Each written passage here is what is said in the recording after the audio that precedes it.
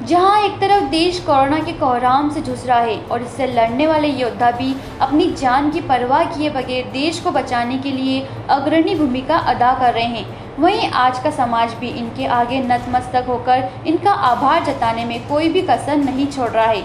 पिपला मंडी में राष्ट्रीय स्वयंसेवक संघ ने भी अपने बयान में कोरोना योद्धाओं का आभार जताया है। इसी क्रम में पिपला मंडी में भी अपने सेवा कार्य से समय निकालकर आरएसएस के स्वयंसेवकों ने कोरोना की रोकथाम के लिए जारी लॉकडाउन में महत्वपूर्ण भूमिका निभा रहे हैं। वहीं पुलिसकर्मियों के प्रति आभार भी जताया जा रहा है।